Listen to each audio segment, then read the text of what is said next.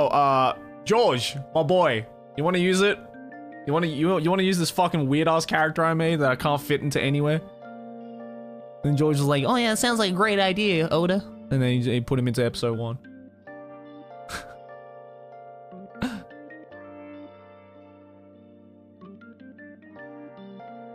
Dude, Jar Jar knows. He knew the One Piece was real before Whitebeard did. He was like, I know where the One Piece is. And then everyone's like, Ain't no way he knows where the One Piece is, dog.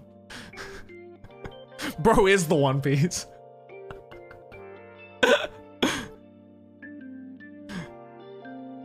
Whitebeard's like, what the fuck? How did you know? He's the Pirate King, bro.